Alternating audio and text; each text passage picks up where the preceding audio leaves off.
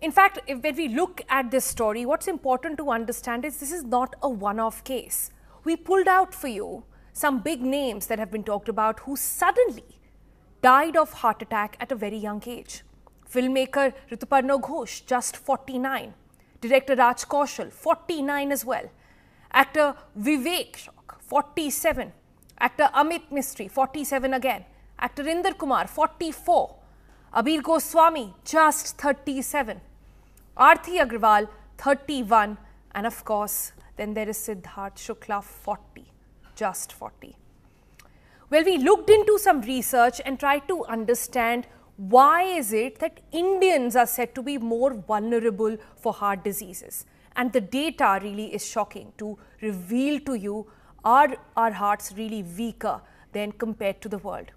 Heart diseases in India are rising 5 to 10 years earlier than in any other population across the world. Mean age of the first presentation of heart attack is happening early to mid 50s as well, from 30 to 50. That's how broad the window has become now. And if you look at estimates at this point, compared to we looked at a window in a broad window of over three decades and we figured out that cardiovascular diseases are and linked mortality to it. That's people dying because of those rose by 103% in men. And it rose to about 90% in women as well. 35% of first heart attack victims are under 35 that's what surveys are saying at this point and this is not to scare you that everybody is vulnerable. This is to actually point out some data and statistics so that we can all together, along with scientists and doctors in the country, find out why this is happening. Increased rate of uh, the coronary artery disease, that's CAD as it's known and in India, is also quite phenomenal. Look at this data, for example. In India, CAD risks are three to four times higher than Americans. It's six times higher than the Chinese. It's 20 times higher than the Japanese. And then there is also a group of people, a subset, who are said to be at higher risk. If you fall under them, it is very important that you consult your doctor and take your health into your own hands now. Let's look at some risk factors now. Substance abuse tops that list, excessive alcohol, smoking, said to be a major, major killer there.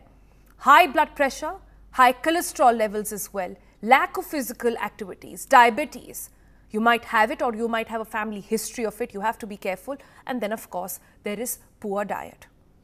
So, all these things, if you fall in this category, means that you're already in a vulnerable group. But even if you're not, we try to understand from doctors are there any telltale signs? Look at the cases right now that we are facing. You actually get to see that none of them had any previous disease, for example. We actually hear of stories of people dying in their, in their sleep, suddenly fainting and never waking up again. So, are there some telltale signs that you can watch out for? And this is very significant. It does not mean if you're young, you can ignore them at all. Look at this list carefully. If you have chest discomfort, and it is a broad term discomfort really but it should go on to tell you that if you're feeling if you're not feeling very good if you're feeling some palpitation as well sit down take note call your doctor. Nausea said to be another telltale sign. Indigestion. A lot of people take it as just acidity maybe heartburn as well and they feel they've eaten something wrong it'll pass.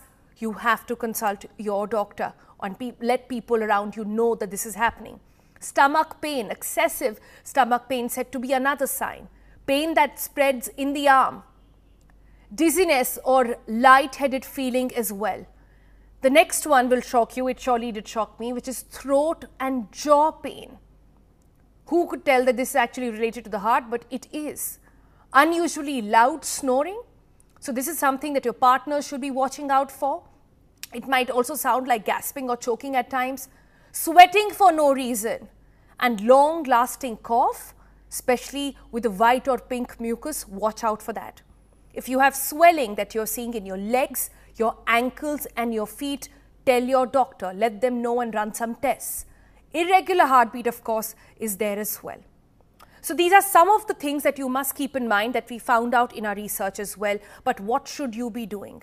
This is in no way to say or spread panic that everybody needs to be rushing to the doctors right now and getting all their tests done. But this is only FYI to give you information that can actually help make a decision.